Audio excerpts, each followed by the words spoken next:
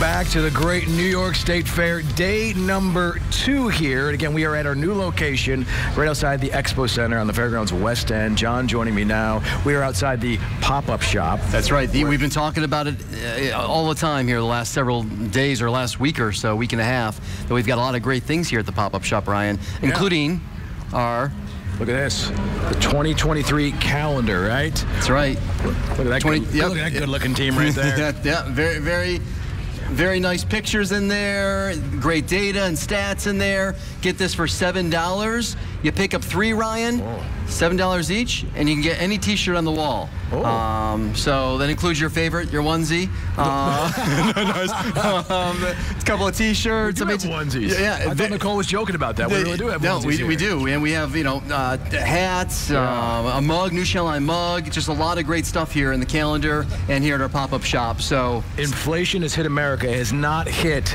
News Channel 9. Still That's right. seven dollars. Right? Seven dollars still. Yes, it's been that way for years. I tell you. Uh, now, weather-wise, yeah. our weather changes often, right? It sure does. So the question is, after a beautiful day yesterday, so far so good, right? Albeit a little bit hot. Melting. a little hot here. We take a look here at the forecast for today. A bit muggier. A shower or thunder shower may pop up west of here later this afternoon into this evening. But overall, we are in good shape here at the fairgrounds. Low and mid 80s and a little on the muggier side. Temperature-wise, Currently in the 70s and low 80s, 81 Syracuse are the warm spot, 78 in Fulton, uh, and we've got 76 in Rome. The dew points, well, dew points yesterday were in the upper 50s, low 60s, so it didn't feel too bad as far as humidity goes. But today, take a look at those dew points, low and mid 60s, so you can definitely feel the difference out here compared to yesterday, feeling a little stickier. So what are we going to do humidity-wise as we go through the end of the week into the weekend? Uh, dew points low and mid 60s like they're at right now for the rest of today. Tomorrow, mid 60s, kind of sticky and a little steamy. But Saturday, we back it down. That's right, back into the low and mid 50s. Feels refreshing, nice. Sunday, start to turn it back up. And then Monday to Tuesday, feeling sweaty once again.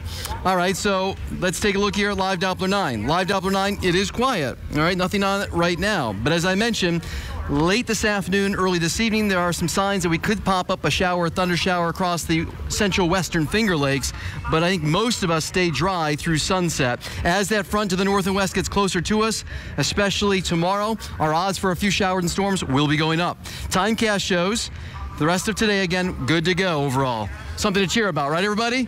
Yeah, yeah, right, right, okay. All right, yes. Uh, I like to take the credit for it, and sure, why not? I'll blame Mother Nature when the weather's bad, right?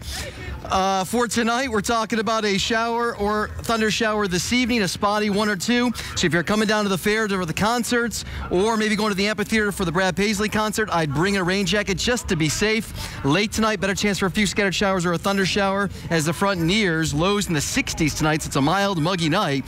Tomorrow, a shower or two around in the morning, but as we go into the midday afternoon hours, better chance for a few scattered showers and storms as the cold front moves into the area.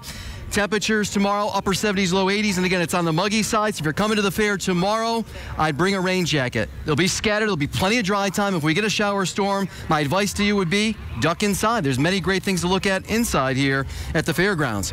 So what are the chances of severe weather tomorrow? It's low, but we cannot rule out a strong to severe thunderstorm or two containing gusty winds up to 60 miles per hour and maybe a little bit of hail as well between about 1 and 7 o'clock in the afternoon and early evening. Best chance for that. Chief Meteorologist Jim Teske, more on that coming up at 4 o'clock and during the 5 and 6 as well. Your seven day forecast after the few showers and storms tomorrow. Saturday, all together now. Ah, yes, going to feel a lot better. Mid to upper 70s. Some extra clouds to start the day. More sun develops as the day progresses and a nice little breeze. Thumbs up Saturday. What about Sunday? Maybe an isolated shower storm east of Syracuse. Temperatures mid 80s. We're near 90 to start next week with a spotty storm possible Monday. Better chance of showers and storms Tuesday with a cold front that will cool us off for the rest of next week. So all in all, not looking too bad as we go through the rest of today.